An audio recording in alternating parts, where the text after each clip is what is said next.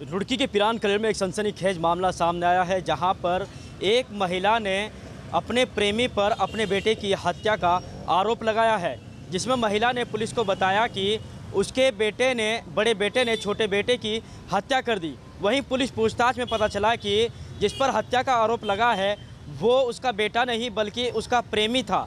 वहीं बात की जाए तो युवक अभी मौके से फरार हो गया है और तमाम पहलुओं पर पुलिस जाँच कर रही है। हालाँकि सीसीटीवी फुटेज के माध्यम से पुलिस लगातार जाँच में जुटी हुई है। सीसीटीवी फुटेज भी सामने आया है जिसमें प्रेमी युवक आ, सर पर किसी कंबल नुमा वस्तु को लेकर जा रहा है। हालाँकि पुलिस तमाम पहलुओं की जाँच की बात कह रही है। वही महिला का आरोप है कि उसके प्रेमी ने उसके बेटे की हत्या की है और शव लेकर मौके से फरार हो गया है। हालाँकि उससे पहले पुलिस को जो मन घड़त कहानी बताई थी उसमें भी एक बड़ा खुलासा हुआ है। हालाँकि महिला ने उससे पहले पुलिस को बताया था कि उसके दो बेटे हैं, जिसमें बड़े बेटे ने छोटे बेटे की हत्या कर दी है। वहीं जब पुलिस ने पूछताछ की तो उसमें पता चला कि वो कोई बड़ा बेटा नहीं था, बल्कि उसका प्रेमी था।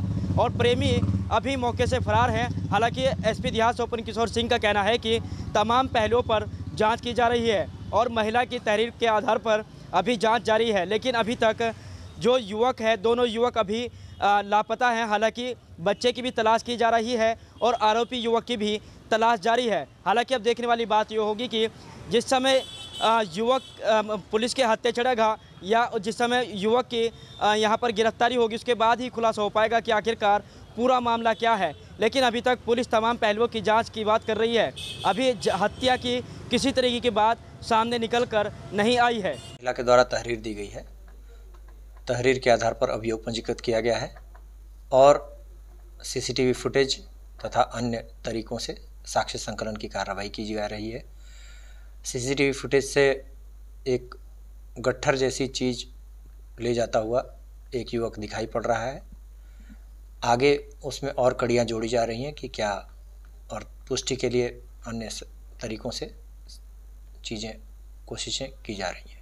देखिए इस पर अभी कोई टिप्पणी करना समीचीन नहीं है क्योंकि जब तक किसी भी सूचना की कोई पुष्टि नहीं होती है तब तक कोई भी टिप्पणी ठीक नहीं मानी जाती। सर पहले ये एक ऐसी चीज़ है जो पता नहीं किन परिस्थितियों के मद्देनज़र उनके द्वारा क्या कथित किया गया उस समय तमाम भावनात्मक उद्वेलन की स्थिति होती है मेंटल ट्रॉमा से गुजर रही थी तो अब उस पर कोई टिप्पणी करना समीचीन नहीं है लेकिन जो उनके द्वारा आशंका व्यक्त की गई है उस आशंका के क्रम में टीमें लगाई गई हैं कि अग्रिम कार्रवाई और साक्ष्य संकलन की उक्त बालक की बरामदगी की तमाम कोशिशें की जा रही हैं ताकि आगे कड़ियों को जोड़ा जा सके और इस संबंध में सभी संभावित पहलुओं से जाँच की जा रही है।